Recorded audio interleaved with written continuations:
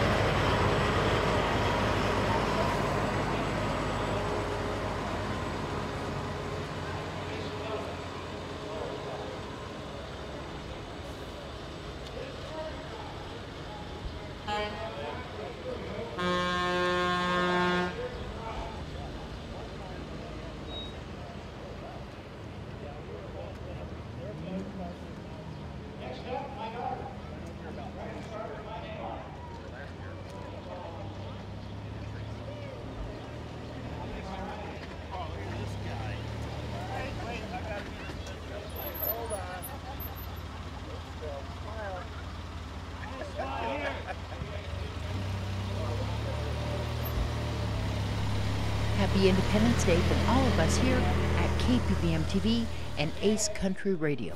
Thank you to Commissioners Dan Schinhofen Butch Borasky, as well as the VFW Post and everyone who participated in today's Independence Day Parade.